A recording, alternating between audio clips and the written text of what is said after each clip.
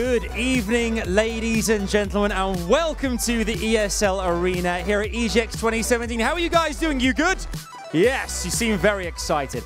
Uh, we have got a fantastic evening planned for you all right here on stage. My name is Adam Savage, and I'm the host for what is going to be the Pokken Tournament DX EGX Invitational. Four players who are going to head to head right here playing the brand new Pokken Tournament DX that came out just this Friday on the Nintendo Switch. Some new characters added to the roster. It's going to be incredible. And four players are going to battle it out to take away these fantastic trophies that you can see center stage. Who do you think it's going to be? Let us know on social media. Let us know which characters you're most looking forward to playing with in the brand new Pokken Tournament DX. It's myself, we have casters, we have analysts, and the players. I think we get this show on the road. What do you guys think? You ready for this? Okay, fantastic. Uh, let's meet our very first two players. Firstly, would you give it up? Make some noise for our first competitor. It's Angel! My man.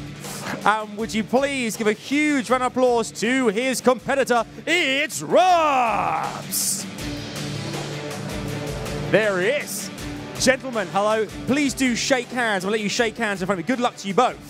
Our first two competitors. Do go and have a seat at your stations, please, chaps. Good luck with the tournament, and uh, we'll be seeing you a bit later on. You can go and sit down at your seat as well. Okay, we've got ourselves a big, big matchup to kick us off. It's going to be a double elimination.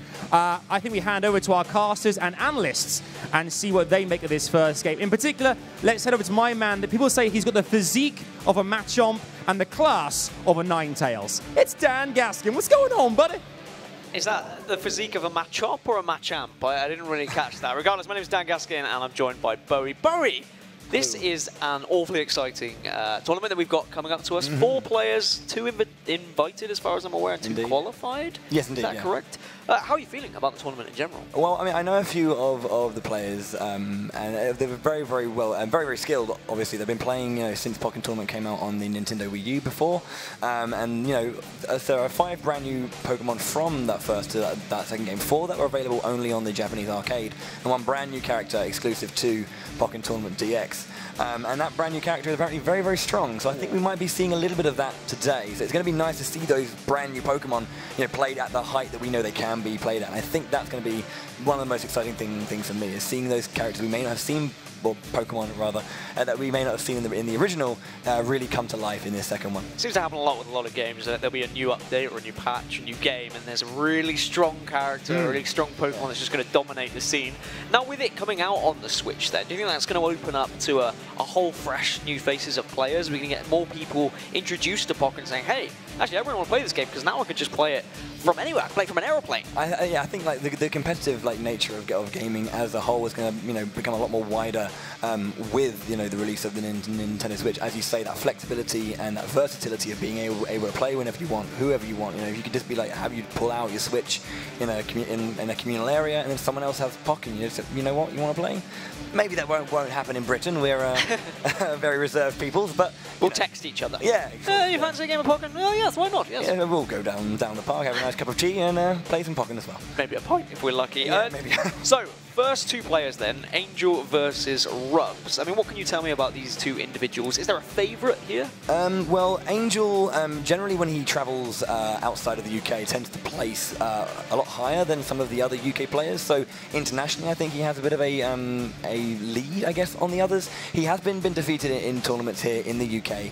Um, so we're going to see um, you know, if he can you know, pull out his best today and win. Um, I know that he is going to be playing, or he told me at least, that he's going to be playing Decidueye, which is our brand new Pokemon Yeah. exclusive to um, Pokken Tournament DX, and it, he is very, very strong. So, you know, I think if he plays that well and plays that right, although the caveat to it, the fact that it is strong and it's brand new, is that he may not have had as much time to lab it right now. Of course. So, is he as experienced as he needs to be um, to take down Rubs? And I think that's going to be the question mark that's going to be looming over this first game.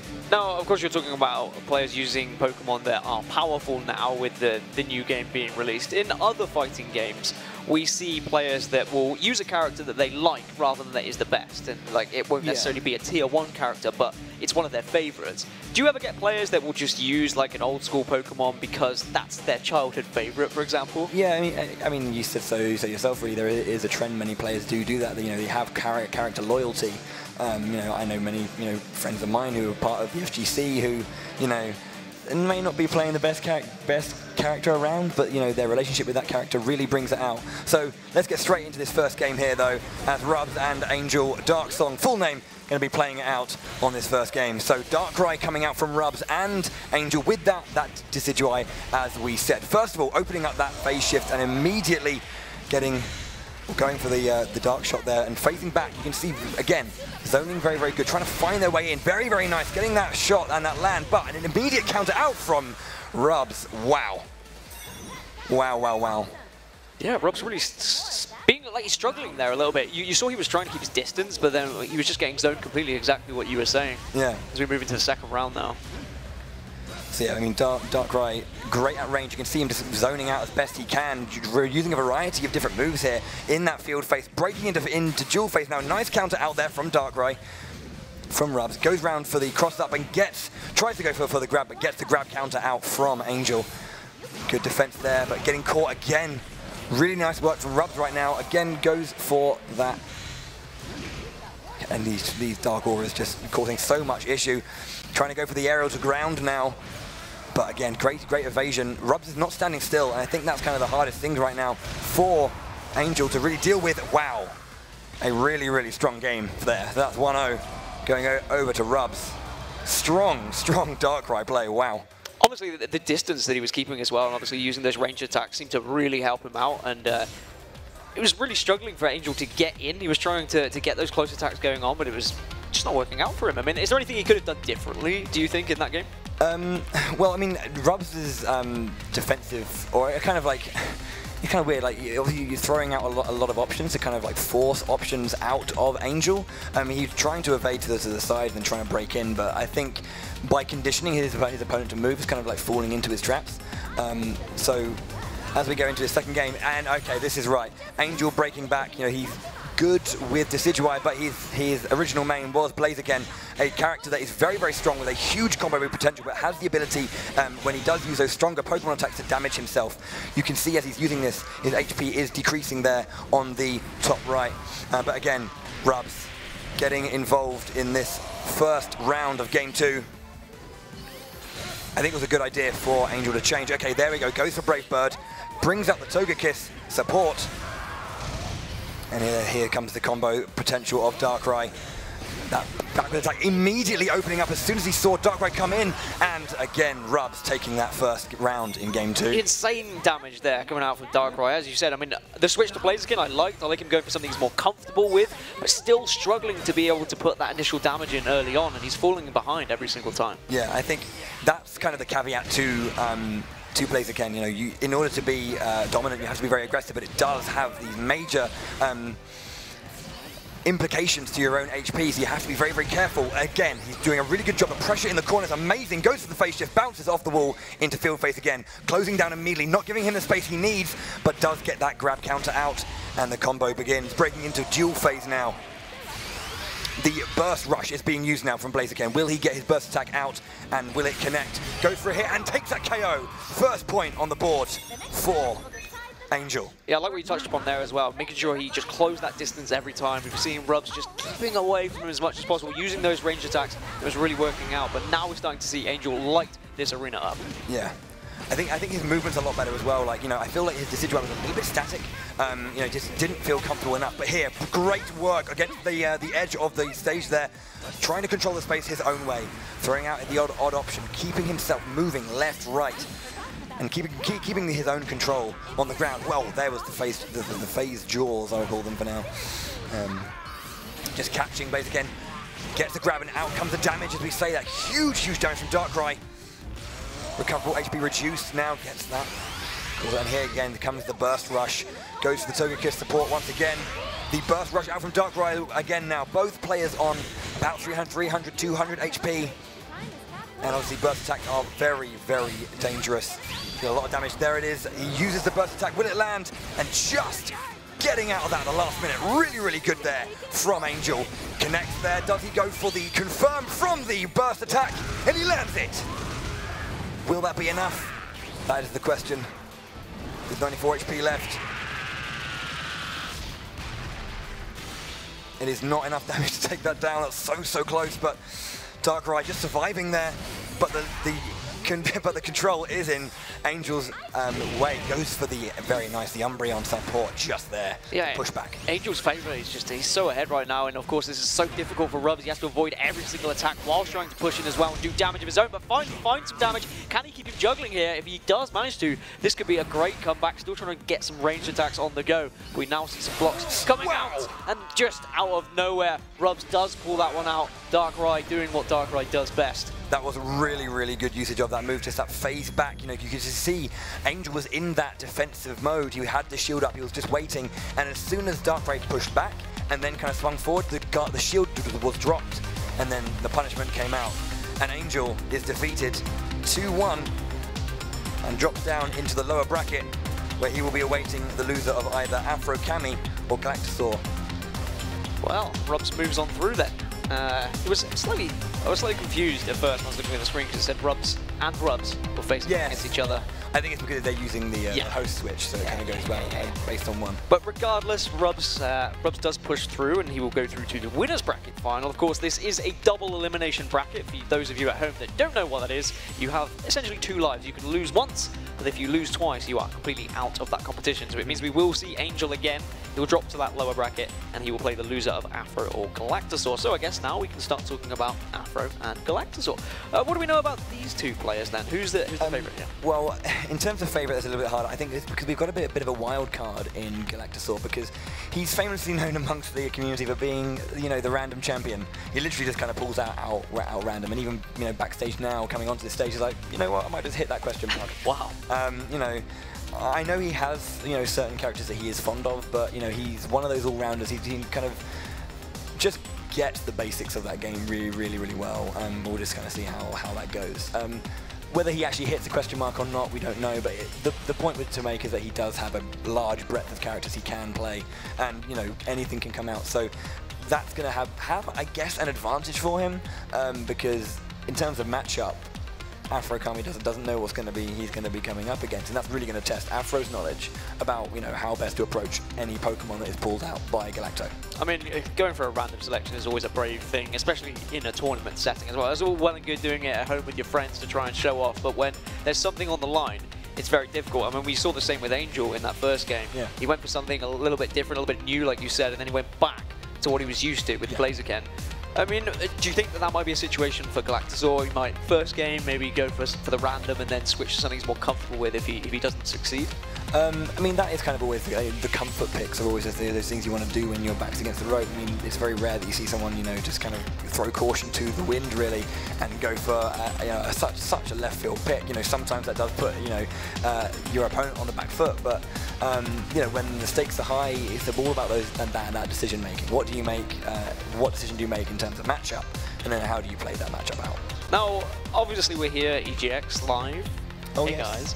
Uh, for those that haven't seen Pokken before. I mean, what's the community like? Is it is it a growing community? Is it something that we should be seeing more of in the fighting game community? I think um, definitely with the release of Pokken Tournament DX on Nintendo Switch, it's uh, you know how how easily people can you know access multiplayer and competitive play like that um, might see a very very strong growth. The scene, as far as I know it, um, isn't you know in terms of the you know wider grand scheme of the FGC, isn't you know the biggest around. You know there are some you know other huge titles to, con to contend with, but it's one of those very dedicated scenes. You know they they love the game and you know they love the characters they play and kind of finding a new way to play a series as a whole that you know they've always loved. Um, and the depth that it actually does have. Um, there's definitely something there for um, you know that scene, and you know it was seen at the Pokemon Championships, um, you know last year. Um, we're probably going to see it, you know, later on this year as well.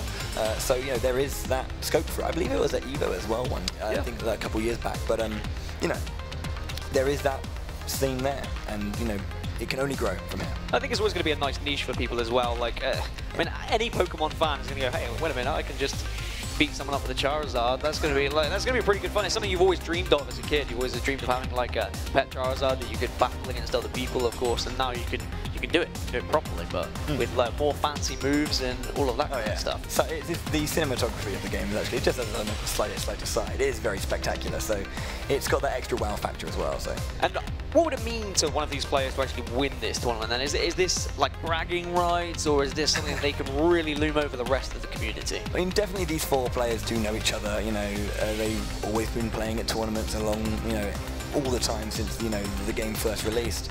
Um, so I think that's kind of one of the spe- one specific thing about the FGC, by which I mean fighting game community. For those who don't know what I mean, apologies. Um, but you know, there are a tight band of, of people. It's you know runs on a kind of open bracket um, method, so like anyone can enter rather than kind of you know having particular leagues. You have to fight your way through to get to particular places to enter tournaments. You know, anyone can you know join and enter. And I think that freedom of entry kind of you know solidifies the community a bit more because everyone knows everyone and everyone's always seeing everyone at the same events. Um, so I think it's definitely. Um, it's definitely bragging rights, I think, uh, because uh, because Angel, you know, who you know just went down to the uh, losers bracket now.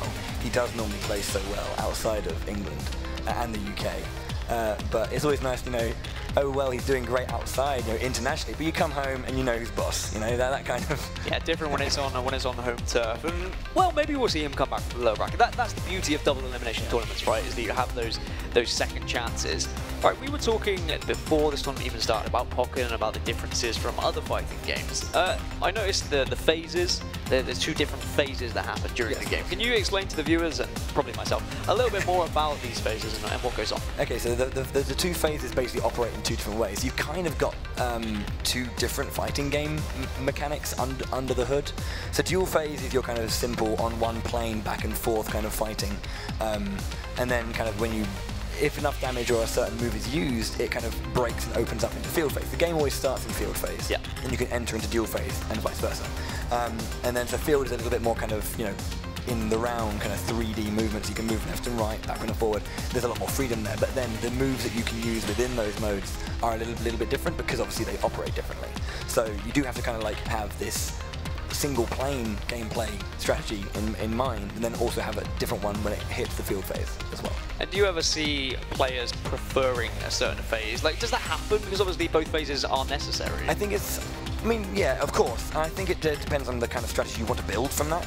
So if you look at the game before, you saw Angel playing uh, Rubs when Rubs was Darkrai and Angel was uh, Decidueye.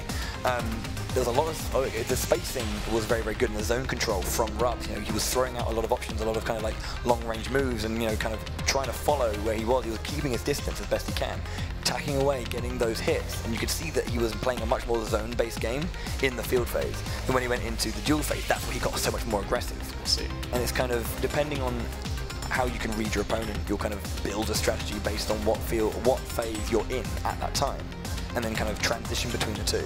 You want to be kind of fluid in the way in which you um, can transition. So, as you know, as I mentioned, when you know he, they broke from dual phase into field and immediately gap closed, so you couldn't get that distance to do the zoning that he was doing. Yeah. That kind of thing. All right, well, it sounds like we have the next two players ready to be joining us on the stage. So let's toss one back on over to Mr. Adam Savage.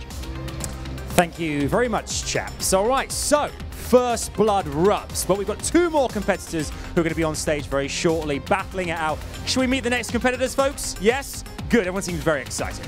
Uh, would you please make some noise for our next one? Is AfroKami! There he is. Welcome, Afro, welcome. And going up against Afro, would you please make some noise for Galactasaur? There he is. Welcome, chaps. Please do shake hands. And let's get it on. You ready to go into your positions, please? Your stations. Thank you, chaps. Uh, okay, it's back over to Dan uh, and the team to talk about this next matchup. Over to you, fellas. Thank you very much. Yes, still here with Mr. Bowie. Yeah, still here, still here. Uh, with, yeah, unfortunately or fortunately. Oh. How would you see it? Cheers, mate. I, I would go for fortunately because that is a stunning jump. Ah, and I love your headband as well. Oh, thank you. Uh, Is that the kind of, is that your thing? Yeah, it's kind of a branding thing, I guess. I like it. Yeah. from from where? Well, I mean, Come on, tell us the story. Well- we all want to know. for those of you who don't know the the origin of my uh, my name, Mm-hmm. um, Bowie is in fact a uh, a character from a, a game that came out on the Sega Mega Drive Ooh. years ago. Wow. Called Shining Force 2. The main character Bowie, um, who classed up into the class hero, I had a bandana. I like it. Everyone's got to have their trademarks, and I, I appreciate yours. So we're into the what?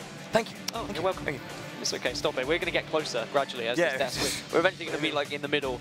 Uh, so second, well, winners bracket semi-final, Afro versus Galactasaur. I've got to say, Galactasaur is one of the best names I've ever heard uh, in my esports career. I've got to say. So you spoke before, and you, you spoke about how Galactasaur might just hit random here, and maybe it'll go against him, maybe it'll go for him. If he wasn't to hit random, then what is something that you know he's more familiar with playing with? Because we didn't actually specify. Well, no, I mean, it's one of those things that I, I haven't seen too much of him myself. That's the thing. So, um, one of the, it more is one of those things I see see the name pop up a lot when I'm kind of like looking over tournament results or kind of catching up, up with the community. So it's my first time actually seeing him play.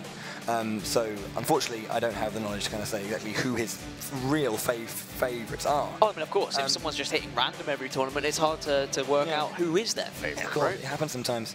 Um, but I think, you know, I, I do know that obviously Afrokami um, mainly a Sceptile main, but I, th- I have heard that he has that interest in playing Decidueye as well, um, like we saw from Angel. But I wonder if he's going to, after seeing Angel perform not so well with the Decidueye, uh, will he go, well, actually, or will he either go, go again for that kind of pride moment of, you know what, I can play that character better than you can, go for it and see how it works out, or will he go for his Sceptile, which of is, um, you know, his strongest character, I guess. Would you say all four players at this tournament are kind of comfortable in this environment as well of playing in front of a crowd, playing on a stage? Because nerves are definitely something that comes into play in all all esports, to be honest, not just Hmm. Yeah. fighting games. Yeah. Um, in terms of the actual stage uh, stage size, I think um, in terms of its overall production value, this is a di- I would say different from the stuff they're probably used to in terms of the general um, Yeah. kind of like community event. You know, going to your locals, going to your weeklies, even going to your nationals um, may not be of this size, but I think. Um,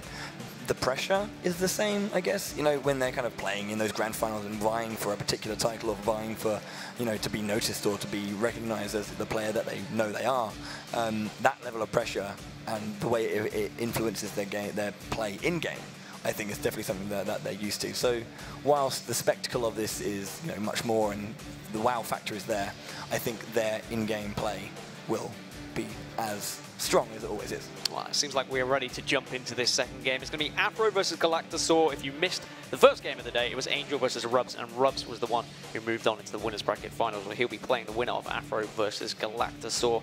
Uh, I, I kind of asked you about your favourites, but I guess I didn't get a prediction from you for this second semi-final. Who do you think is going to take it? Um, I my kind of guess would be AfroKami, um, just because I think he's got those two that he's really put some time into, and he's got a specific uh, strength, and then the, the amount of time, the amount of labbing that's gone on to really kind of get that character under his his control.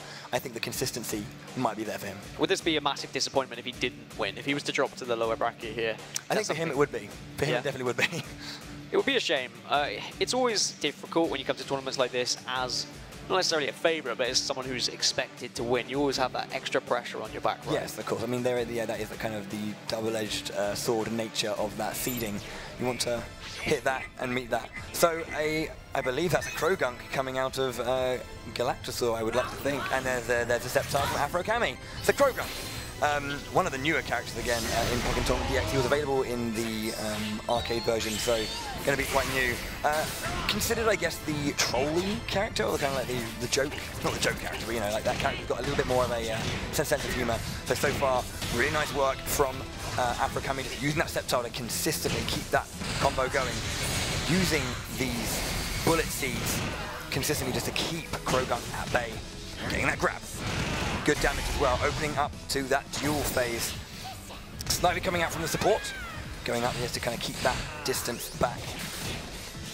Right now, um, Galactor's having a real difficult time to try and trying to get in. There's the grab, and that'll be game one. Round ma match one going over to Afro Kami. Yeah, Galactasaur just not being able to engage at all there, really struggling to put any sort of damage. You could see he was constantly dashing in, trying to get close, but it was just, as you said, there was so much damage coming out of Afro and he looks extremely comfortable here, and he's just emitting an insane amount of damage. Constantly, Galactasaur is just dashing away, jumping away, trying to avoid all these attacks. That was an amazing going, uh, you know, knocking him up into the air, immediately following up with that aerial grab. It, it just, it's been really, really good work from Afro just so far, using that bullet seed that leaf blade just to consistently keep pressure on Uh, the burst rush is being used and then, then immediately countered by Afro Kami. He's going to go for the burst attack, lands it. This is quite, a, this is quite good. if anyone's seen Frog Drop, bam. you did mention how he has a little bit more of a sense of humour. Yeah. Just giving him a nice salute as well there, and still he's trying to put damage in Galactasaur though. He's gone for the uh, Croagunk support as well, so much better showing in this second game, but now, here comes the rush again, that, that, that close down, keeping that combo going, great, beautiful work there. Gets that grab out again. This is looking much better for Galactasaur. Of course, he's on low HP, but he's just doing a much better job of dealing with everything that's been thrown out. Nice usage of the support. Snivy knocks Croagunk up, gets that grab, and he will finish match two, taking game one. Game one goes in favour of Afro Kami then. I mean, solid performance there from him. Like you said, you were expecting this pick. uh, you were expecting him to perform well on this character, on this Pokemon, and he did in the end. Sceptile seems to be the perfect fit for him. The grabs were at the right time. He was finding them just at the end when it seemed like Galactasaur might be able to sneak something. He was just pushed away. Yeah. So I think he's going straight back into it, going for the uh, the run back with the Croagunk. Happy to stick with that character. I think he was yeah, getting a vibe for how he needs to approach Sceptile in this particular matchup. Um, getting a, a trick, uh, getting a kind of control over the overall thing. Yeah, Galactasaur trying to keep his distance uh, originally, but now he seems to be finding his moment, going in for some early damage, trying to get close in on this Sceptile. Does actually manage to get a decent amount of damage done as well. Gets that grab on as well, yeah. So as you say, I think he's a bit more comfortable. Goes for the substitute there very nicely. Oh, wow. Just drops back, rather than kind of like going after it into the counter, goes for that hit. Very, very nice grab counter into follow-up. The Croagunk support. Very nice anti-air usage of Snivy there. Great hit again, countering now. Here comes the combo, but he drops the combo there. Bullet seeds into the ground. Croagunk going for that mega punch. And then the sliding headbutt there. And then just tapping away. Just trying to keep AfroKami honest here. Bullet seeds in the ground. Into the growth. Yeah, it seems like Galactasaur has the game plan of chip damage in this one. He's just trying to keep his distance, try and go for that poke now and then. Oh. Yeah. Oh, he tries to land, he tries to land a heavy. he just kind of like walks up really slowly, winds his fist and just slams. One of the slowest moves in the game, but went for it. AfroKami really struggling here. You can see he's only on 40 HP now as well. He needs to play flawlessly if he's going to win this, but actually some decent damage coming out of him. Galactasaur is going to be pushed up, but time up. And he takes it, yeah, takes that victory. I think that's what I was talking about. You could see this, that overall general knowledge of that game and how it plays immediately adapted to how he needs to approach this matchup with the character he's using. And that's just really, really solid, and that's why Galactasaur is so dangerous. Of course, Pokkén can be very fast, but only 80 seconds in a round, and uh, Galactasaur had that game plan. He wanted to just shut it out. He wanted to wait, use time to his advantage, and maybe he'll try and do the same here. Gets that grab out again, yeah. Knocking Sceptile back, and then immediately again gap closing, stopping that overall uh, range that AfroKami had, had such, control of in game one. Look at that. Great work. Tries to go for usage of support, very, very good, and that knock-up, a very interesting usage. Immediately fighting back now from Galactasaur. He goes again for the Burst Rush. The Whirlwind coming out, and then the Poison stings, but gets caught by that long-range Leaf Blade.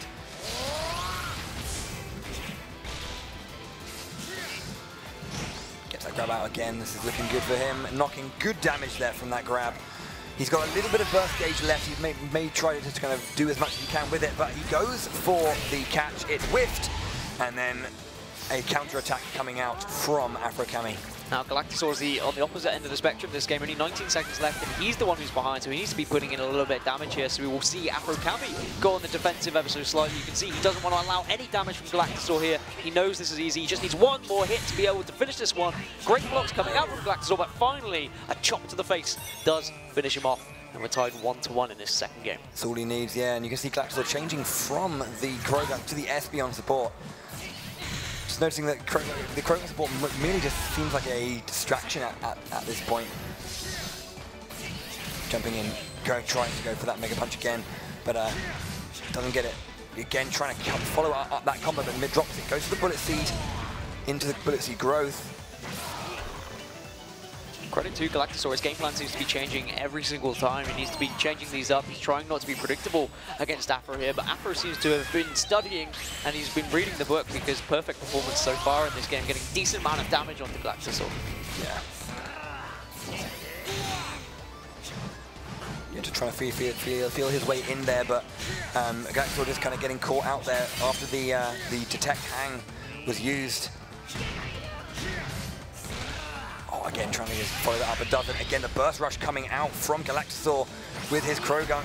Tries to land, gets a, uh, gets a stone throw, but Whirlwind doing, doing, doing less. Poison Sting coming in. He does see that. Brilliant. AfroKami whiffed his hit, and he goes straight in for that burst attack.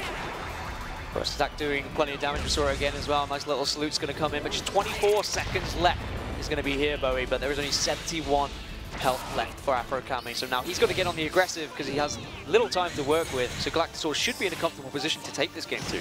Oh wow, he gets the grab through the sniping. Really, really nice, just completely putting down that lead with 13 seconds to go. It's not looking like it's doable, but Galactasaur with that sliding into the uh, close range, taking that game 1-1 between the two. I mean, is this going to be difficult to take for Afro, the fact that he's just lost one game against, the, uh, against here?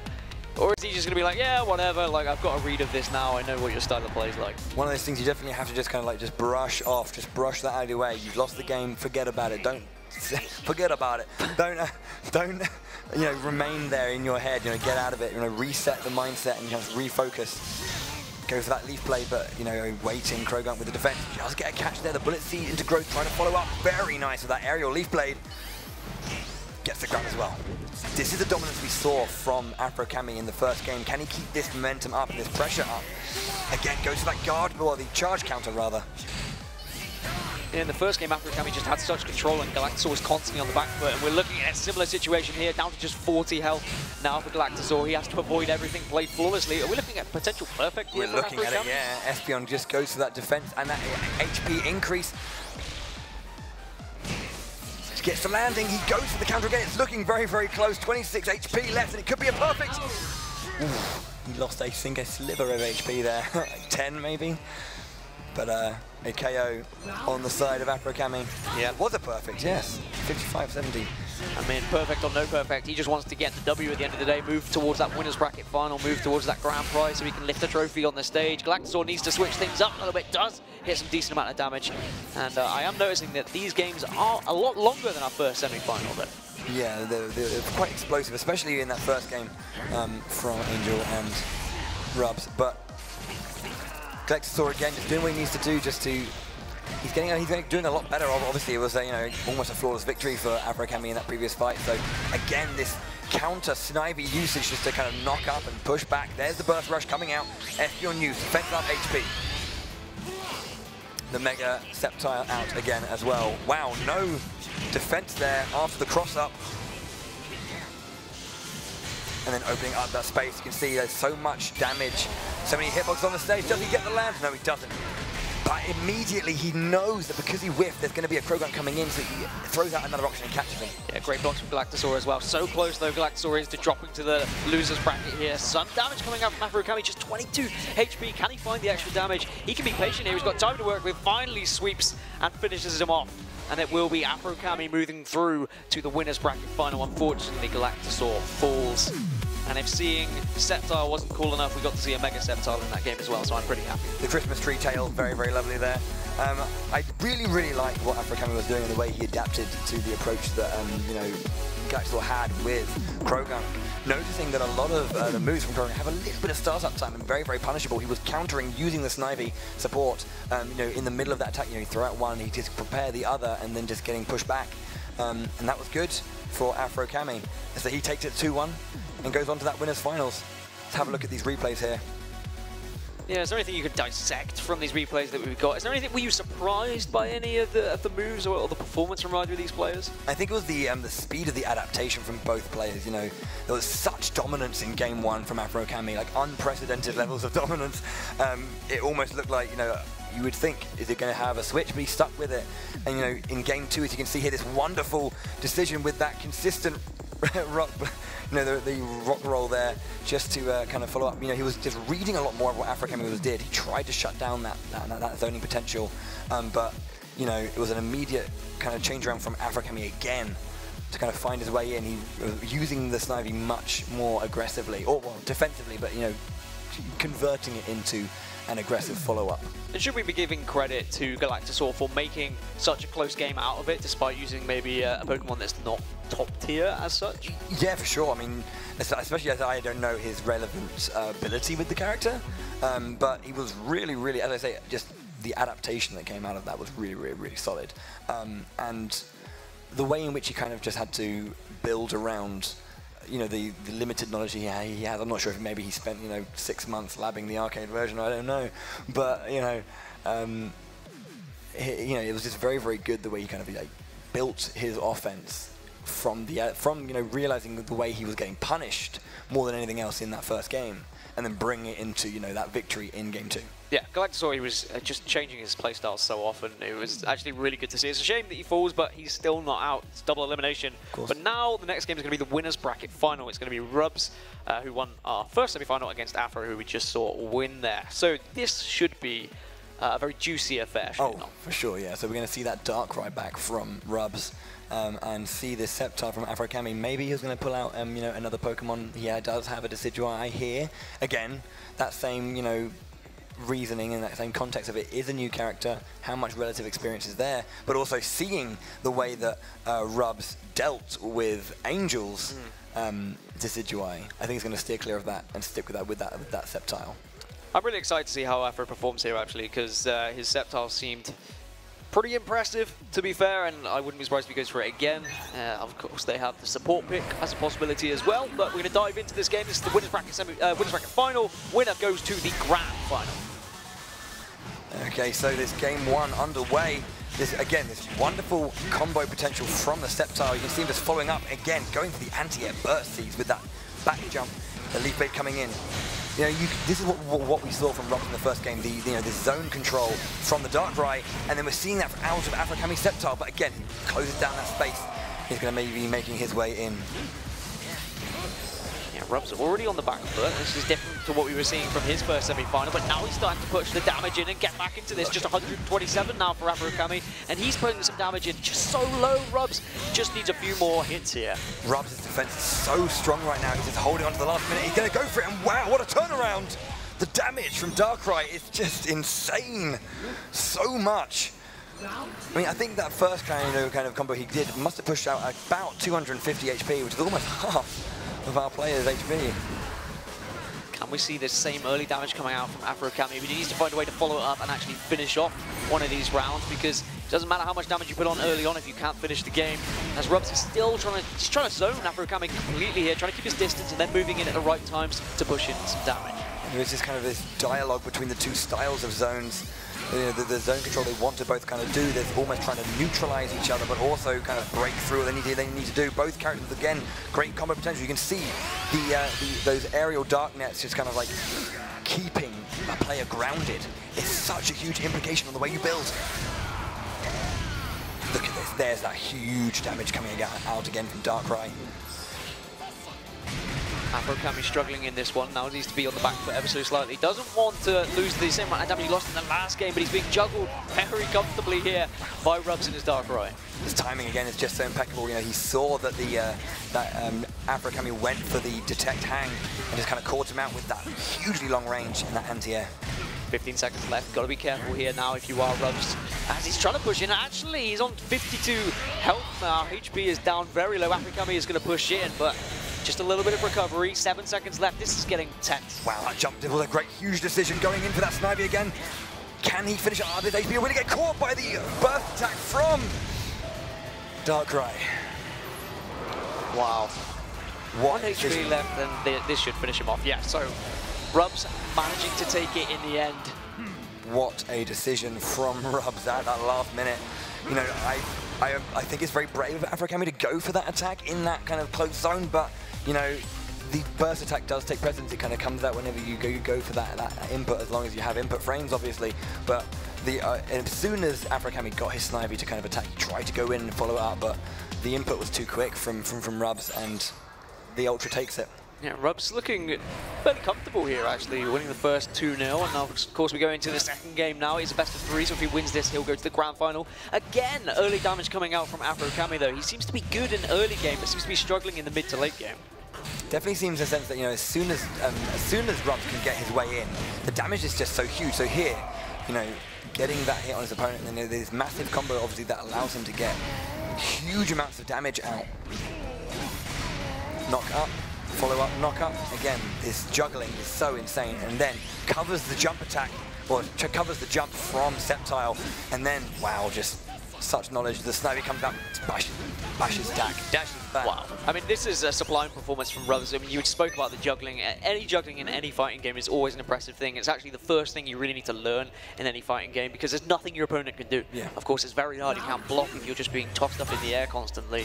So very impressed with Rubs right now. Definitely, it's about just kind of extending those combos, maximizing the damage output, and not giving your uh, your opponent, you know, a, a second wind if they need it. Wow, again, just catching beautiful usage of the Nettles. The Lapras is coming out, off she goes. Way. Try to catch the detect, doesn't get it. And look at this juggling again, it's just coming out. Like, so here, Rubs has to stay grounded. And but the thing is, he has no other way in because the, li the linearity of that Dark Sphere coming through and AfroKami's just being zoned out completely here. Every time he tries to dive in, he's either getting juggled or just pushed out by Rubs. And Rubs might be able to find the last bit of damage here. Looks like he will, and he finishes it off. He will be moving on to the grand final. A smile, though, from Afro. Pretty happy with that one. He, he doesn't mind too much. And uh, this is good stuff from Rubs. Yeah, he advances on to that grand final. We'll be seeing how it goes in the losers to see who will join him there. But that was a dominant performance, 2-0 over AfroKami. We, we saw Angel taking him, him, him to game three. Um, I think because of the um, the way in which Darkrai likes to zone and the way that um, we see Sceptile also zoning, you see so much pressure on the shield here, but it was just so res like just resolute um, from Rubs, his defense, and just finding those openings again. That decision to go for that Ultra or just the way to get that Ultra at that last minute whilst Afro was kind of trying to get aggressive on him was very, very nice. And Rubs completely had his number in that game. He just was predicting every sort of jump that was coming out from AfroKami, and the, the, smile at the end of the game from Rubs just said it all. To be honest, he was yeah. he was comfortable, he's confident. Now he moves to the grand final. I mean, that this, this here is so important.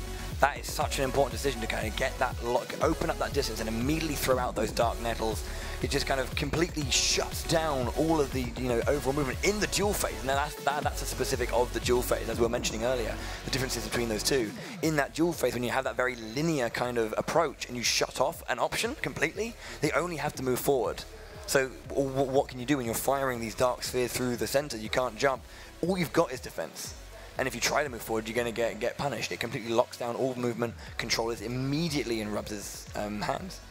Seemed like Afro just run out of ideas a little bit mm. in that game. He was yeah. constantly trying to dive in, trying to, to, to bridge that gap, and he was being shut down immediately every time doing so. I'm wondering whether maybe a Pokemon change could have come out after a couple of, losing a couple of those games.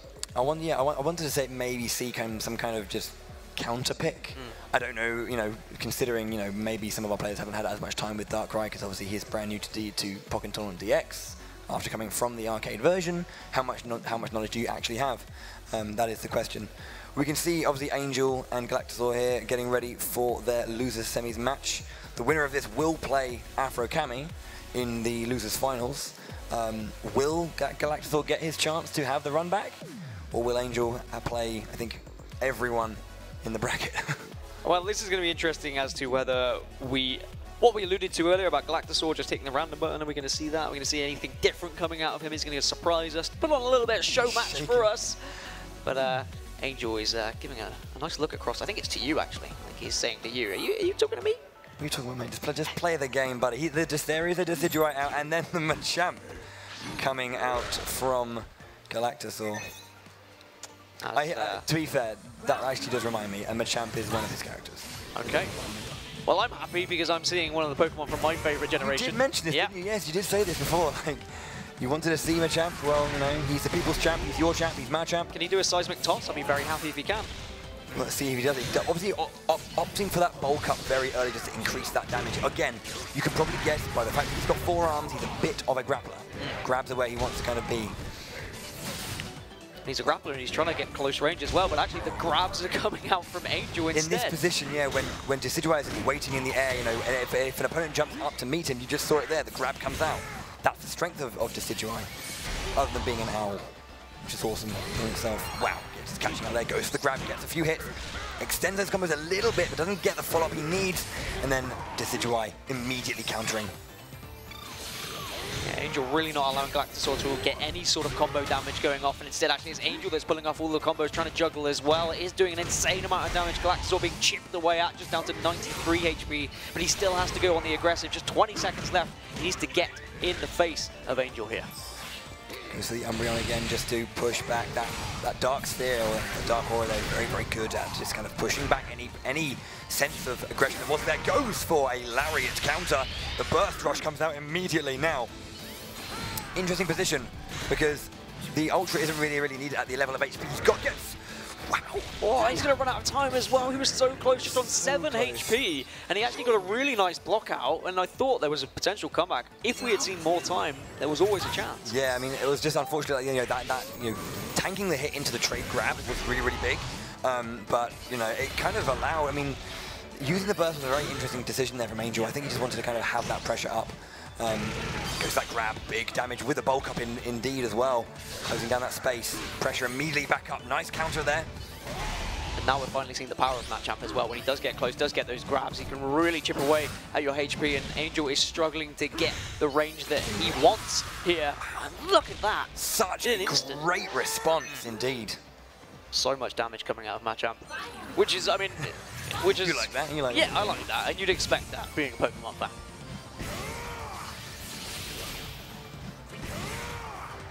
Excellent. Again, closing down that positioning, trying to get as many hits as he can, but there's that counter coming out from Decidueye. Again, that aerial dominance just kind of hovering there. You just don't know what you, what, you know, what option you can do. You can try and maybe fight against it, but here comes a massive combo coming out from Angel with that Decidueye. Breaking into dual phase now, jumping over, goes for the cross up, but waits a little bit too long so that counter lariat can come out. Umbreon is called. Galactasaur doing a very good job of waiting to go in. Galactasaur does seem to be doing better in the dual phase, but actually he dives in and it gets countered, and now he's struggling just on 163 HP. Angel's gonna be able to put a lot of damage here. Galactasaur on the back foot, trying to get in, trying to do damage of his own. But look how much damage he does when he get actually connects with one of those hits, Bowie. And now we see Burst come out.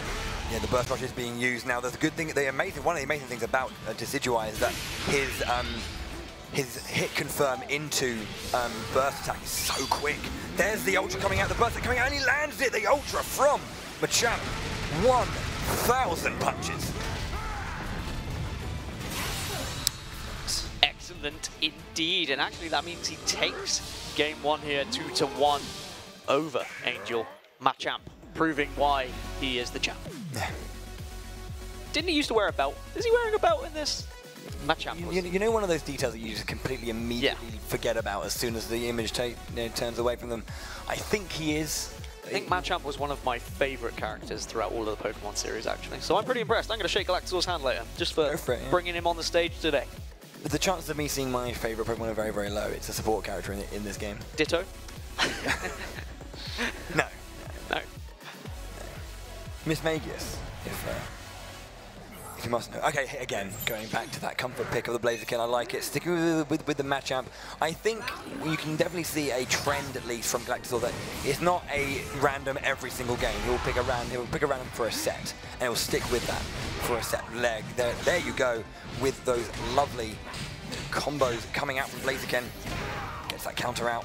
Well, basically, Angel has said here, oh, you want to go toe-to-toe, -to -toe, you want to go close and try and do some real damage and try and go for those grabs, well, I'll take Blaziken and I will absolutely smash him in the face. So, again, but the counter, you can see that the, the damage is, even though that was the first hit that um, Galactor got on Angel, look at the damage he's down to because of that, of that self-inflicted damage that is there. Which is why when you're with Blaziken, you want to take a support either that increases defense or kind of gives you that HP recovery because of that recoverable HP that is just kind of flashing there. Well, Galactasaur's down to just one HP, but he's somehow on the defensive here and trying to put some, some damage into Angel Darksong. Oh, that's not good. Fighting somehow! He was on one HP, Bowie! One HP! Again, Galactasaur just pulling out these clutch victories. Uh, you know, whilst I was talking about, you know, the, the way you want to kind of build Blaziken, we saw this very, very consistent aggression and just found is managing to find those small openings, these opportunities to get the damage in. Absolutely unreal stuff from Galactasaur. He's now just one round away, of course, from moving on towards the loser bracket finals, and the sweat's going to start dripping down Angel's head now. He needs to change something up. He was finding a lot of damage in the last game, but just couldn't find that last slither of hope. The, uh, the, the hitbox of the particular counter there is not kind of working out for him. Does get a few hits out there, but the bulk up still on the chat. The damage is going to be huge from this grab. Yeah, down to just 253 HP now, Angel, and he's instantly just smashed into the wall as well. He needs to try and escape, try and get some distance, so he does use the burst, as you previously alluded to. Wow, it's a little bit damage from himself. Because he's going to be falling down from that uh, wall. He does get the burst attack confirm. Really, really nice using that wall just to get that. And the damage out is big. So, a slight lead now for Angel. He's got the speed up, he's got the attack up.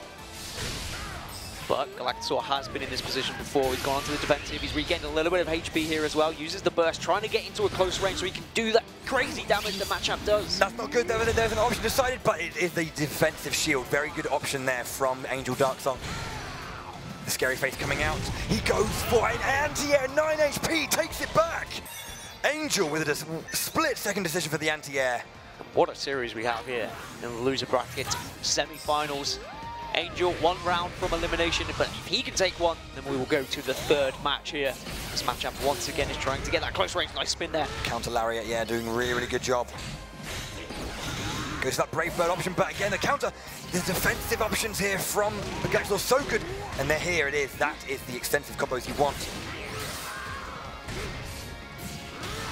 This is so good, though, from Galactasaur, but we saw this position before. it, it, it is possible to have that recovery how smart are you going to play your defense in this scenario? And look at Angel Darksong, he was running, he was trying to escape, but Machamp just keeps on coming on in, pounding with those giant fists. He's got four of them down to one HP now, Darksong. He goes out and he gets hit even by a fly, but somehow he's still uh, surviving this one. He goes for the burst rush immediately. He, he, at this point, he can't afford to be defensive. He's got to do something he needs to do. Gets that grab, HP coming down. It's in his favor. The burst coming out to counter that attack. Oh, he goes for the rock throw that the AoE of that landing attack. This is dangerous. Positioning, he goes to the shield. Okay, he's safe now. Togekiss coming out. There it is. He goes to the movement in, but the... Finally, those rocks are able to do the damage. Galactasaur is the one who moves on to the loser bracket final. Unfortunately, it's the end of the road for Angel, but he did put up a good fight. Uh, it was. It seemed like he wanted to bring something a little bit different to this tournament. As soon as he went one down, he trained, changed to more of a comfort pick onto the Blaziken. Wow, yeah. And then you can see him like really, really, really fighting back. He lost that first game, you know, that incredible passage of play from uh, Galacto. We're just going to have a check into with this first game here, with this Decidueye being used.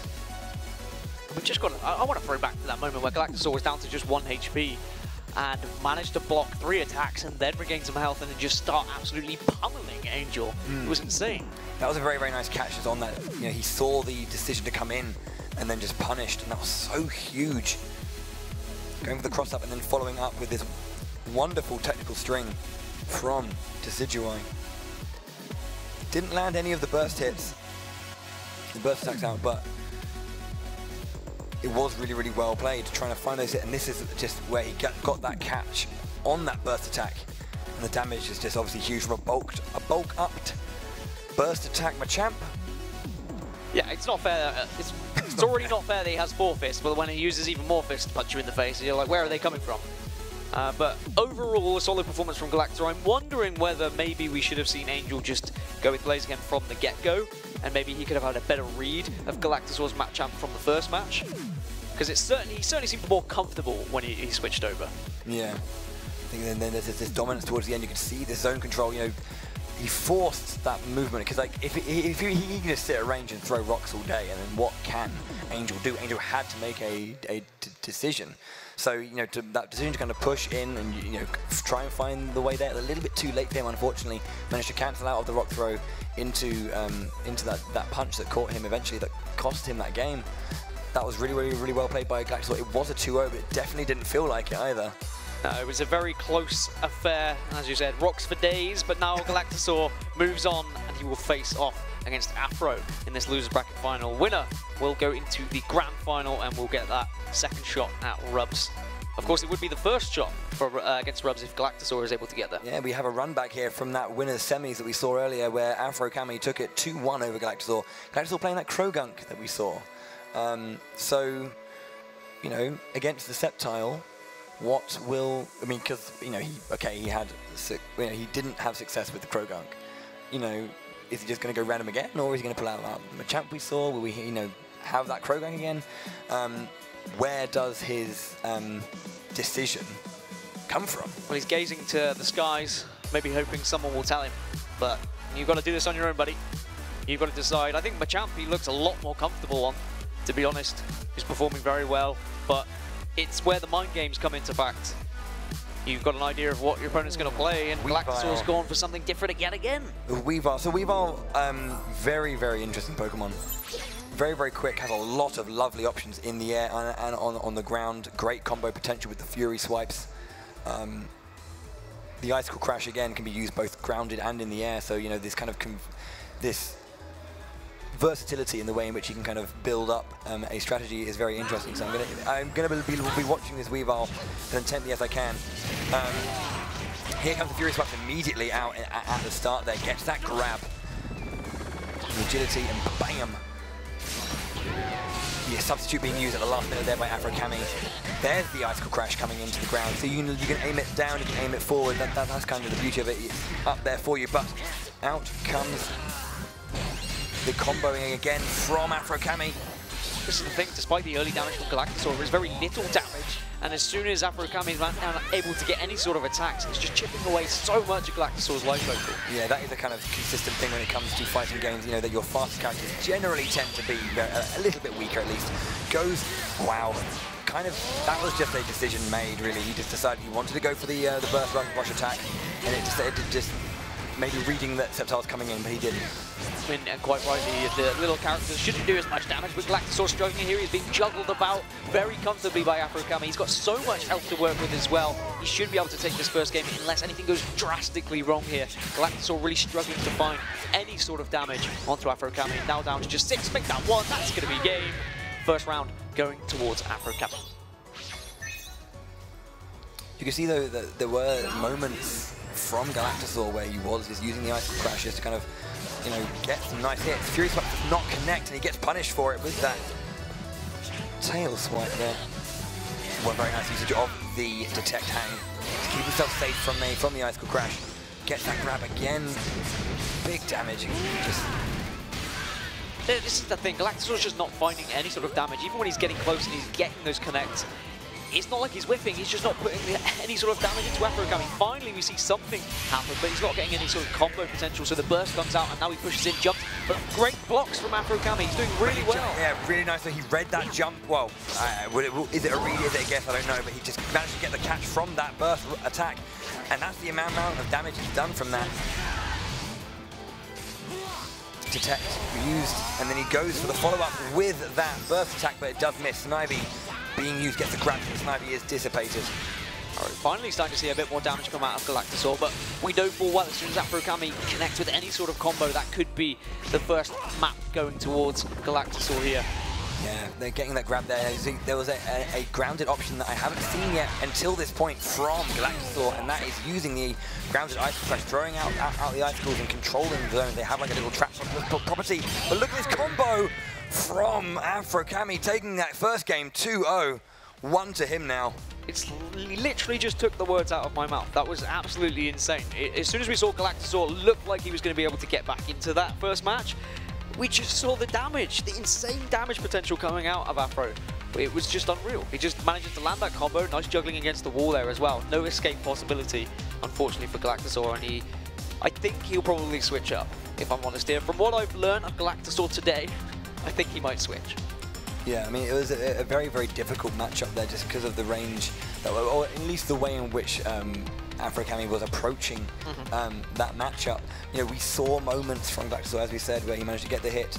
Yeah, they're a very, very good shout from you there, Dan. Very nicely done. The, the Mewtwo comes out, and we're going to see how he can, what he can do with the, with Mewtwo against this Sceptile. Now, my childhood would suggest Mewtwo is going to win this one comfortably, but you know, it doesn't work like that when it Yeah. comes to video games. Never, never does. But again, you can see some massive range breaking through that shield and opening up dual phase immediately. Shadow Ball into the ground. The th- then very nice use of, usage of the um, substitution just to kind of get around the back and the combos can begin from Sceptile. This is the main difference I've noticed between these two players. AfroKami, who is clearly maining the Sceptile, he's got those combos down to a T, whereas Galactasaur keeps switching characters about. Yes, he can find those occasional hits, but he hasn't really got those combos locked down. He was performing very well on Machamp, but he's struggling again once he's with Mewtwo here. Afro's doing a very, very good job. Again, his wall pressure, so nice. Gets that grab, it'll be good damage. Will it be enough to finish off? No, 14 HP left. The wall bounce there from the field shift. Litten is being used. Gets some damage out now. Can he find his way in? Tries to follow up, but... Okay, there we go. Nice knock up from the, that, that Shadow Punch. Burst usage to kind of push back. Uses the Ultra as well, and it's immediately kind of guarded. Galactasaur on 1 HP once again. Anything, even a little bit of a of a wind blow would knock him out, and there we have it. He jumped up, used the shadow ball, but just at that point we had the detect leaves, the detect growth come out on that floor and just landed into a trap, knocked him for like a little bit of damage and allowed AfroKami to finish off. I was going to say even a leaf would kill him, but actually uh, there's a lot of leaves that come out from Sceptile anyway, so it would be quite appropriate. Indeed, you are correct. A leaf would kill him. Very nice that the detect use just to get that grab and that hit. AfroKami keeping a decent range here actually. Uh, surprising because Mewtwo seems to have some decent range attacks, but it's fine because Galactasaur is the one who is getting damage just pummeled into his face by Afrokami. Reminder that if Afrokami does win this one, he will be the one moving on to the grand final to have that rematch. But finally we're seeing Galactasaur push some real combo damage in here. That was a really nice string there. Popplio being used to support the, bu the bubble beam there. Galactasaur struggling down to 177 HP. Burst coming out now from Afro Afrokami. He is pushing in, trying to finish this one off. Down to just 69 now. Great damage. Gets the grab. So close, just 9 HP. As I said, a leaf will kill him now. Mewtwo's trying to get away. Oh, and immediately just goes to that leech seed, and that's enough to take it. Afro Kami 2-0 on Galactasaur. He'll move on to the grand final here at EGX Birmingham. We've had an amazing weekend here at EGX, the ESL Arena, and I think it's quite right that we finish this off with an amazing grand final as well. Sure, Rubs sure. versus Afro. We get the rematch from the winners bracket final. The real question is, can we see something different from Afro here? Rubs really had his number in their original match. Do you think maybe we'll see a switch up from Afro? Is he Um, going to stick it out? Considering the um, you know the fact that he has a variety of characters he can use, and he's been sticking with that Sceptile, I think you know I don't want to say that the the beating from Rubs was so severe that he'll immediately switch up. Maybe he's just going to have to kind of think again, rethink his game plan um, to kind of approach Rubs. as we do look at some of the highlights uh, from the losers bracket final where Afrokami was able to knock out Galactasaur. It's a shame to see Galactasaur go. I've been impressed with his range of Pokemon that he's able to play, but in the end it's those that have really practiced their Pokemon and they have their mains that have shined today here at EGX Birmingham. Mm. For sure. I mean, these, these players have been like playing all day as well, kind of in this overall bracket, and it does kind of come to a head here. And it's in, maybe if they were playing previously in, in the bracket against each other, and you know there are wins and losses going left, left, right, and centre, but it comes down to that one play and the, you know that one game that you have to win. Who's the best on the day? I guess is that most important, important thing. And on this big stage, is lovely. And now, I mean, you may not know, but I'm a, with usually with double elimination brackets, when someone has beaten someone in the upper bracket and they play them again, in the grand final. They usually have an advantage going into it. Is it just, is it back to normal? Are we just, is it best of three wins this grand Well, final? no, it's not. I, I, I, as far as I'm aware, I believe we're playing best of five. Um, but of course, we do have Afro in the loser's side, and if he wants to win, he needs to win twice um, to do this. Rubs only has to get those three victories, but you know he needs to knock Rubs into the loser's bracket first, get the bracket reset, and then go, go, go again. One of those things about the losers bracket runs is they're really tiring. You have to play so many more games. You have to play double the games. A win in winners is worth two in losers. So much less games in winners, you know, to kind of get to that end. But when it comes to that grand final, you spent all that time and all that energy making your way through losers, and then you have to kind of like win two whole sets against the person who beat you in that winner's side. Yeah, double elimination brackets can be very tiring. Uh, sometimes it can be an advantage dropping to the losers bracket Yeah. because More- if you time. yeah you get more time to well rehearse as it were. You get to practice. You you warm up a little bit and you're you're used to what you're playing in the tournament.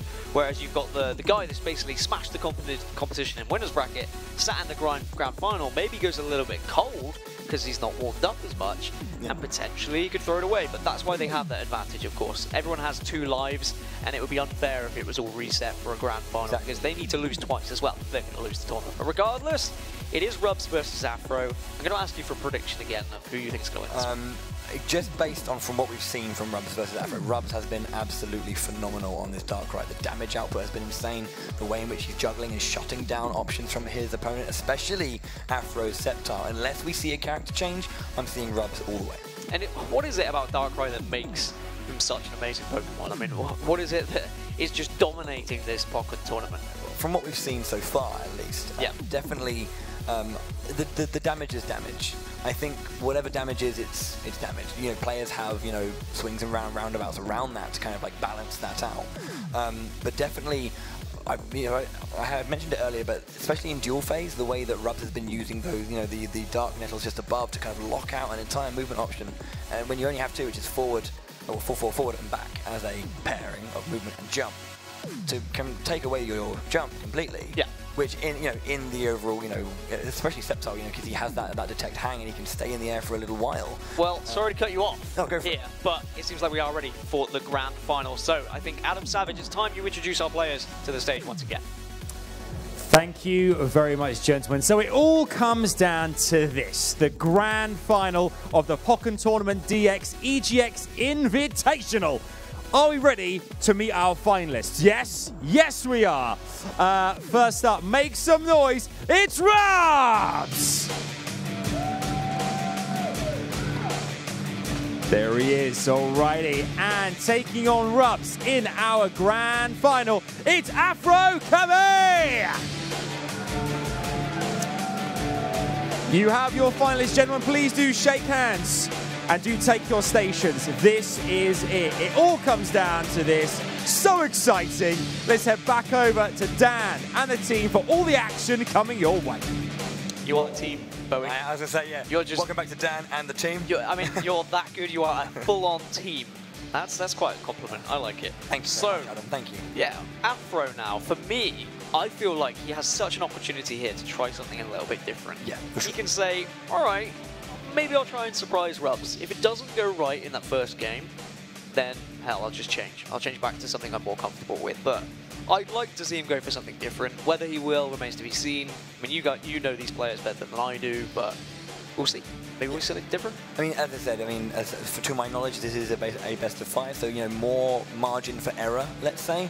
Despite the fact that you know if you do have to do the run back, if you're 2-0 down, you have to do the reverse sweep. Even more. You know, the pressure is piling on. You know, when do you make that, that decision? When do you either go for the complete left field option? Um, you know, so you know he has time, but it's limited time. It is limited time, and actually we've seen a variety of different playstyles throughout this tournament, which is quite surprising. With just four players, um, you can sometimes have very similar playstyles happen, especially when it's an invitational. But regardless, we, we dive into this grand final now, but it is going to be both comfort picks, Yeah. picked by both players. So again, AfroKami immediately trying to shut down that space and running straight into the aggression of Rubs in this opening game. And God, just getting that counter, and here comes the combos. Does drop it there, phases back immediately, though. Long range leaf blade, just to get some damage back onto Rubs. Great detect usage as well, getting some nice damage here. Trying to follow up these combos, but drops it. I'm liking this from Afro Kami. He, he notices what went wrong when he played Rubs before, when he was constantly going for those jump attacks. He was being punished by juggles. Instead, he's going for a lot lower attacks, going for ground attacks now, trying to keep distance, trying to get in on the face of Rubs and not allow those juggles to happen. Yeah. This poison, what poison rain, it looks like. okay. Pachirisu being used there. Just so much damage from Rubs, and Afro Kami just seems to have no answer for it as well. He does able to jump over that. That was really nice substitute. Using the substitute just to get out of that, that, that, that, that scenario, and now he's following up this combo. Will he, you know, just trying to find a way back in. It's really, really good using those burst seeds, or the bullet seeds there, just just to kind of the interesting. Wow, he gets it back. He catches him out on that movement round. Yeah, Afro Kami, he was down very low, but he somehow pulled that one back. A great dodge, a, great evasion there from Afro Kami to keep in this one, and now he has the lead over Rubs. What I think is really nice about um, the way kind of did this is that although, you know, when I mentioned that uh, the Bullet Seed does miss that target, kind of drop the combo, they can be, they're in the ground, you can grow them out and cause, you know, a follow-up. You know, the pressure is still on, they have to be in guard when they get back up, which is very, very nice. Again, the substitution for the cross-up, then again, the combo coming out from Afro Kami, looking very inspired and very confident now. Rubs once again is down, but Afro Kami trying to do damage, but he unfortunately gets caught again by Rubs. Rubs hasn't had the same juggle ability that we saw earlier on in the winner's bracket, but he is still emitting a crazy amount of damage when he does connect with those shots. Wow, going for that, uh, the, the reverse um, shutdown there, but again, the pressure's good, but I think Afro Kami is just getting a bit more of that knowledge of the overall spacing he needs to really deal with Darkrai.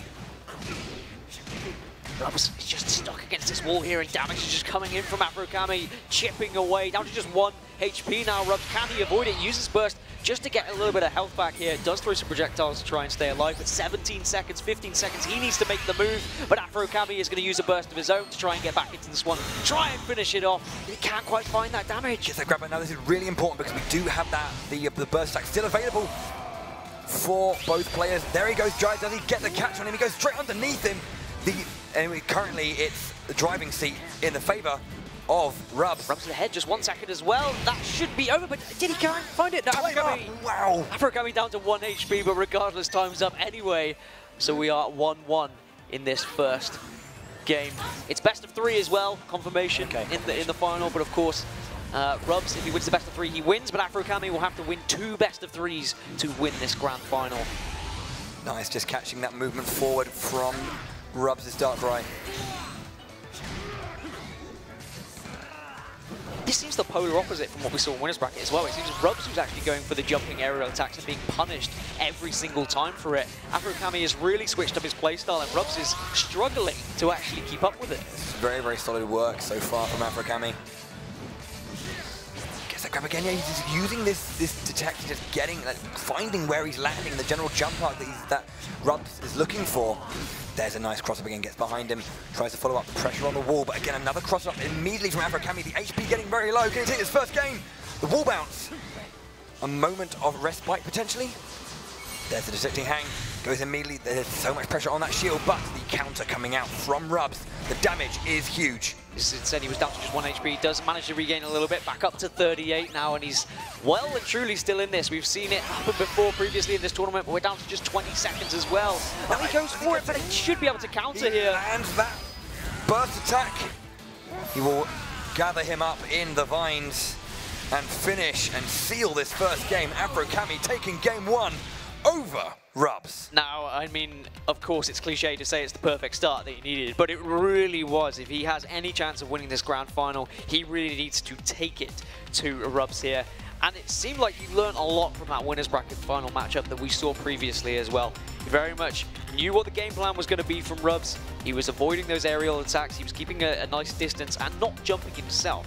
That was the big thing. Mm. I saw a lot of aerial attacks in the winner's bracket final coming out from Afro, and he was being punished every single time for it. So yeah. he clearly learned his lesson. Yeah, exactly. Yeah, that, that, adaptation is to know what isn't and what is and isn't working. But our players are back into this next game.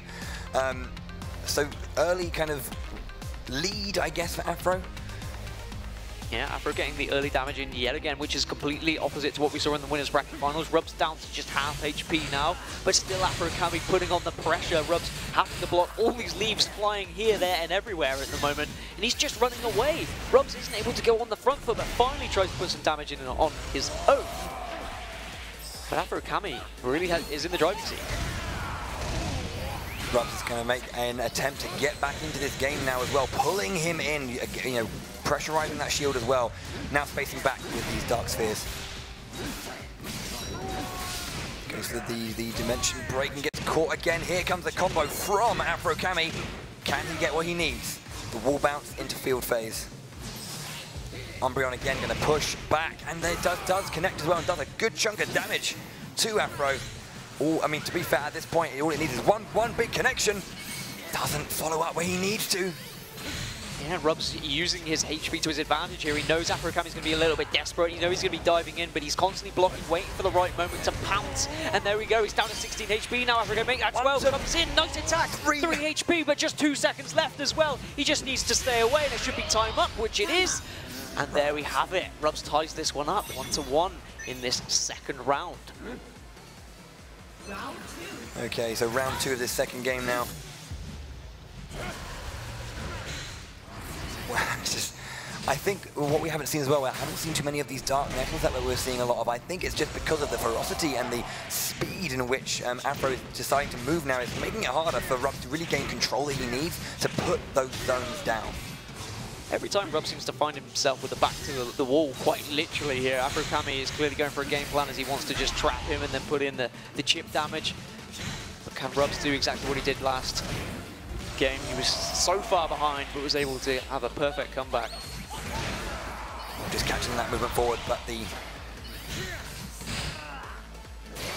the burst being used now going into that one. And currently Rubs does not have too much burst meter, which is nice, which means that there's a lot of uncontested burst time coming out from Sceptile. Confio, just confuses, Conf uh, pushes himself forward and wins that one with a nice combo. That's what I was trying to say. Yeah, nice combo. Now it's 1-1. That's yes. what I meant. Final That's round. Right, nice I couldn't see the yellow dot on oh, yeah, the side of the screen. But there we have it. Rubs tied up 1-1. If Afro Kami takes this, he does reset the bracket, and those L's will be coming down on both sides of those player names. And it'll be all to play for there. Rubs looking to get back to this grand final and take it before that reset happens. And as, and as you mentioned, Afro really does have that momentum from that loser's run for him. Rubs once again backed off into this wall, but I love that from him. He instantly knows what Afro is trying to do, so he rushes out and makes sure that's not going to happen. And now he's the one on the offensive. He's the one pushing the damage. This is the same Rubs we saw in the winner's bracket, and he's getting that juggle, but he whiffs a little bit. But the Leaf Blade coming out of that counter gets, goes for the detect, finds him, and that command grab happening there. Again, these are these are the uh, bullet seed growth that is kind of causing, even if he does miss, goes for a nice grab there. Darkrai good damage. Closes down that space, has that gravity shield just waiting. Afro Kami down to just 98 HP, down to 67 now. Rubs is just having his number. He's avoiding every single leaf that is thrown at him at the moment. And finally dashes in to finish off Afro Kami, and we're tied up at one to one. I am being told, I have confirmation, it's actually going to be a best of five grand final. There will be no bracket reset regardless, so it is just a straight out best of five okay. for this grand final. So that's what we need to see. We need to see one of the teams, one of the players, sorry, win three games and they will move on and they will be the champion here. One players being told there, so just having to adjust to that change in structure. Of course, live here at EGX, there is time that we have to abide by as well before everything closes here. The last thing we would want is players playing in front of an empty crowd. Of course, people here at EGX can come and watch as long as it's still open, of course. So best of five, tied up one to one. And now this is where it comes down to. Who can deal with the pressure better? Is it going to be Rubs or is it going to be Afro Kami? See how, how it goes. That is going to be a bit of a change uh, to their mindset, of course. You know, that the the conventional things that they're used to in their tournament have been changed. So how does that affect, affect the gameplay? They do get that, that, that best of five, however, which does um, you know, allow them to kind of play you know, know that th this game isn't the be-all and end-all. There is still that second lifeline just in case. But um, AfroKami, after taking that first game, a much better bring back from Rub, bring back, brought back that second game again. Well done by Rub. So, you know, it's good to not go down 2-0 in this scenario. And meanwhile, just look at the amount of damage that AfroKami is putting out onto Rubs again. He keeps pushing him back on into this wall. Can we see any sort of comeback from Rubs? Oh, he gets lifted up in the air, and the damage is there. So nice, yeah, using that retreating um, um, aerial attack into the landing uh, detect. Very, very nice, holding Rubs in shield, and then immediately getting that detect grab. Yeah, we need to see something different from Rubs here because Afro Kami really knows the game plan that he's going for. And we know that Rubs is capable of a lot with this Darkrai. Mm. Detect is really working nicely for Afro Kami here. Again, he's just being pushed back into this wall and attack after attack. The chip damage seems too much for Rubs, and the blocks aren't going in as well as he thought it would. That was a little bit hasty. The shield was already there. He goes for that aerial grab, though, huge damage from him. This is, again, fantastic for AfroKami. Takes this, he will be in pole position. He does, 2-0. He takes it 2-1 over Rubs now. And now what a dramatic turn of events this is. Afro Kami suddenly becomes the favourite for this grand final. 2-1 up, he just needs one more match win to take this whole tournament. But on the side of Rubs, we know he's capable of a lot. We saw how he performed in the winner's bracket. Can he do the same to come back from behind here? A position that granted he wouldn't have expected to be in. And I do sympathise that the players have had to change ever so slightly but sometimes compromises do need to be made and you need to adapt to situations. There is those Nettles kind of catching um, Sceptile on the way down, allowing him to extend a little bit more. Grab comes out from AfroKami to get some nice damage in, takes the HP lead in this early part of the game. Gets another grab out, that pressure again on the wall, really important. Shifting phase to dual phase, immediate detecting that push forward from Rubs. Very, very nice from AfroKami, the bullet seed, the growth, the pressure on the shield. He jumps out and he gets that grab immediately, anti-air that grab. Afro Kami once again is just pushing Rubs all the way away from where he would want to be in the middle of this arena. Instead, he keeps getting forced back to that shield on the back. But now we see Rubs actually putting a little bit of damage. He's got AfroKami down to half HP. And you can see both players slowing this down a little bit here. Okay, here are the juggles coming out that we know we've seen them before. Oh, and there we go, catches just that space above, immediately pushes forward and knocks him up into that into the nettles, and the pressure now on that shield is important, and he gets that catch there. Okay, Rubs. so now we're seeing better stuff from Rubs. As you said, the juggle's coming back into play. Maybe AfroKami let his guard down a little bit. Maybe forgot about the game plan earlier from Rubs. Needs to be careful as we are 1-1 in this fourth match. 1-0, sorry, in this fourth match. No worries. No worries, no worries.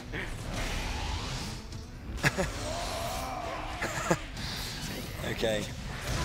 Again, Rubs, again, it's back and forth. These consistent, minute adaptations from both players, different approaches that are just causing, you know, this is this is kind of what it looks like. You know, you have these minute changes that make big differences, and both players having to kind of respond to those changes as quickly as they can. Speaking of responses, look at this from Rubs. He's got the juggles once again AfroKami down to just 65. Okay, he's back up to 100 now. He's he's getting a little bit of HP restored. He's instantly on the back foot. Coming from that burst, just has that HP restore, yeah. Get, gets, cat, gets caught, catched, caught by the Umbreon again. The Detect comes out. The damage is going to start coming in. He's got a little bit of time left on this burst. Does he get the uh, the Ultra out? He does not, I think. There it is. Caught, catch, dip, dodged, dived. We're seeing everything from Rubs in the moment. Dodge, dive, dip, dive, and dodge. Yep, and he's trying to survive here as Afro Kami's down to just 20 HP. This is completely different from Rubs now. It seems like he's... This is doable now. Look at that up. huge hit. 35, 36, 40 HP. He has the HP lead now. Very doable for Afro Kami. He gets it with 1 HP remaining unreal stuff there. Both players so low, but Afrokami manages it in the end to tie up this fourth round one to one. If Afrokami wins this round, he will win the whole grand final. Rubs needs this to survive. This is match point now for Afrokami Rubs after having such a strong lead. Having it taken that away from him completely, goes for that aerial grab again. Nice decision making there. The attack decrease coming into Sceptile, however closes in very nice, jumps up, avoids the detect, the, the gap closer, the grab. Afro Kami has the early lead once again. Goes to the burst. He's going to push in, but we see a counter burst from Rubs now. So both of them looking for a little bit of extra damage. They're both being a little bit hesitant here. They don't want to dive in. They don't want to give anything easy away. Of course, Rubs is going to be the one more hesitant. He's got more to lose in this situation. Oh, he, he, he, that was really, really nice coming out of Afro Kami. Will that be enough, though? That is the question. The burst attack is out. The vines, they grow. They encamp encapsulate, and they finish it, Afro Kami! Enough damage taking the grand final set 3-1 over Rubs. A huge turnaround from that winners finals where Rubs put Afro Kami in the bin, in the losers bracket, and Afro brings it all the way back with an incredible burst attack there. Yeah, what a story that is for Afro. Coming back from the losers bracket, but then still winning in the grand final. Wow, unfortunate for Rubs. Uh, of course, we had a last-minute change as well in the situation. I think both players are friendly enough. They can have a laugh. They can have a joke about it. But regardless, we've seen some excellent Pokken here today. I've been extremely impressed. I wonder if the guys on the stage have been extremely impressed. Let's find out from the man himself, Adam Savage. Thank you very much, fellas. We've had our grand final. We have ourselves a winner. Commiserations, firstly, though, to Rubs. I'm going to hand you this runner-up trophy there. Commiserations to you for valiantly today. But we do have ourselves a brand new champion. Afro, how are you feeling right now? I'm feeling ecstatic. Like I, I didn't expect to win, but I overcame and won. And how much are you enjoying the brand new Pokken Tournament DX? Are you loving this on the Switch now? Oh uh, yeah, I love the game. I enjoy it, and I I want to get the game on the Switch and play online and wreck everyone else online. Just keep on killing. Well, I'm proud to present you with your winning trophy. Would you please make some noise for Afro Kami? He is your Pokken Tournament champion. Thank you guys so much for watching and to have a wonderful evening. Let's go back over to Dan and to the desk and find out what you guys made of that final match of the series. Thank you very much, Adam. Yeah, I mean, what did you make of that final series then. A great performance from Afro. Yeah, we, we saw I mean, these consistent back and forth adaptations, and I just think it was the, those minor ones that um, Afro made in each game to kind of keep taking you know, the rounds that he needed.